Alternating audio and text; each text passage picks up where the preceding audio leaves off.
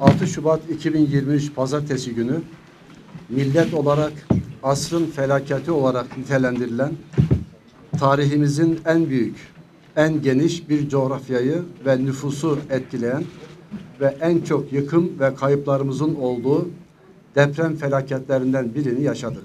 Bilim insanlarını dahi şaşırtan, deprem ve fay hareketleri konusunda ezberleri bozan, bugüne kadar dünyada eşine rastlanılmamış bir şekilde 9 saat arayla iki büyük depremi ardı ardına yaşadık. Her ne kadar 7.7 ve 7.6 şiddetindeki depremlerin merkez üssü Kahramanmaraş ilimiz olsa da yaklaşık 14 milyon vatandaşımız bu depremden etkilendi.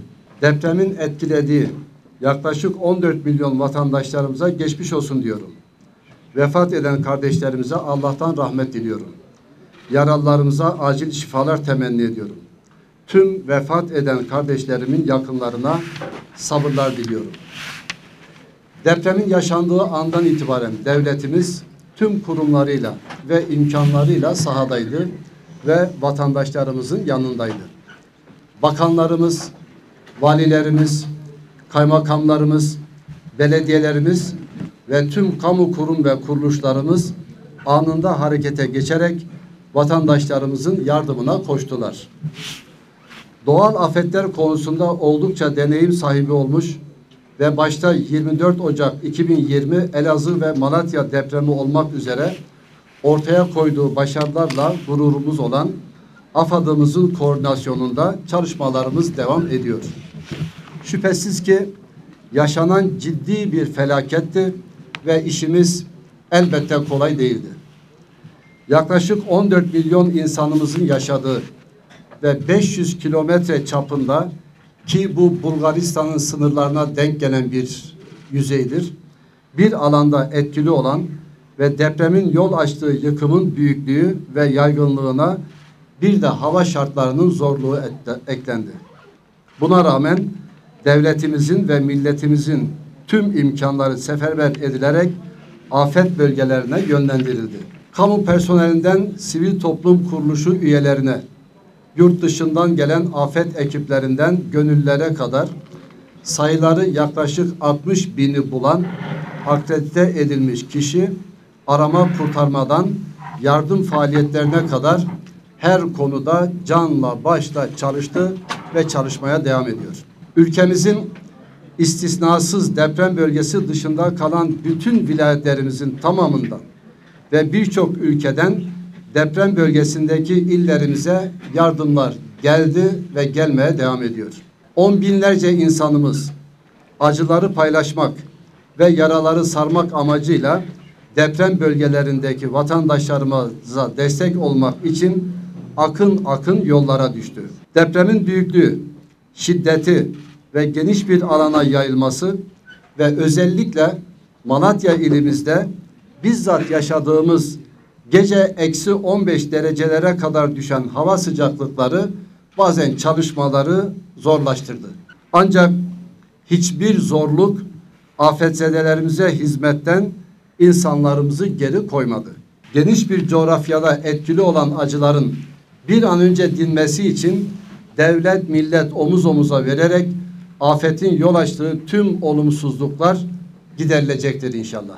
Söz konusu vatan olunca, söz konusu milletimiz olunca ve söz konusu bir doğal afet olunca hiçbir siyasi ayrım ve farklılık gözetilmeden bu acıları dindirmek bu necip milletin en büyük zenginliği oldu. Bundan sonra da böyle olmaya devam edecektir. 6 Şubat depremlerinin hemen ardından Cumhurbaşkanımız tarafından öncelikle bakanlarımız illerde koordinasyonu sağlamak üzere görevlendirildi. Elbette sahaya ilk inen kurumlarımız belediyelerimiz oldu. Yerelde olmaları ve hızlı bir şekilde organize olabilmelerinin avantajlarını kullanan belediyelerimiz yaşanan depremin ardından anında harekete geçtiler. Hangi partiden olursa olsun iktidarıyla, muhalefetiyle birçok belediyemizin deprem felaketinin yaşandığı coğrafyada vatandaşlarımızın yaralarının sarılması yönünde ortaya koydukları fedakarlıklar her türlü takdirin üzerindedir. Hangi siyasi partiye mensup olursa olsun ayrım yapmadan Malatya ve diğer illerimize yönelik destek, yardım ve katkılarından dolayı tüm belediye başkanlarımıza ve fedakarca görev yapan personellerine şükranlarımı sunuyorum.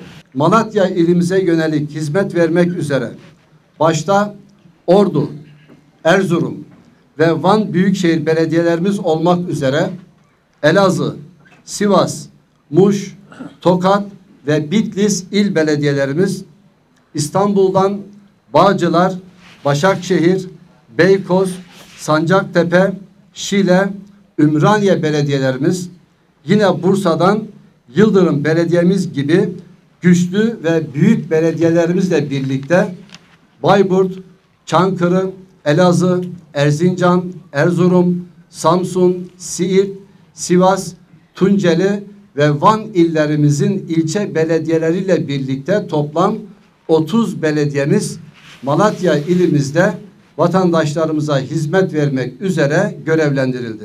Elazığ belediyemiz en yakın komşu olması ve ulaşımda bir problem yaşanmamasından dolayı Malatya'ya yardımı en erken ulaştıran belediyemiz oldu. Ben buradan hassaten teşekkür ediyorum. Sivas Belediyemiz Malatya Doğanşehir'e ilk ulaşan ve ikinci depreme de Doğanşehir'de yakalanan belediyemiz oldu. Depremden hemen sonra Malatya Büyükşehir Belediyemiz, Battalgazi ve Yeşilyurt Belediye Başkanlarımız da kendi acılarını içlerine gömerek belediyenin bütün imkanlarıyla vatandaşlarımızın yanında oldular, olmaya da devam ediyorlar. Ortak acılarımızı yine ortak dayanışma, yardımlaşma ve birlik ruhuyla ancak aşabiliriz. Van ve Elazığ depreminde olduğu gibi Malatya'da da yaralarımızı en kısa sürede saracak ve yeni bir Malatya'yı hep birlikte inşa etmek için kolları sıvayacağız inşallah. Rabbim bir daha milletimize böyle bir afet yaşatmasın inşallah.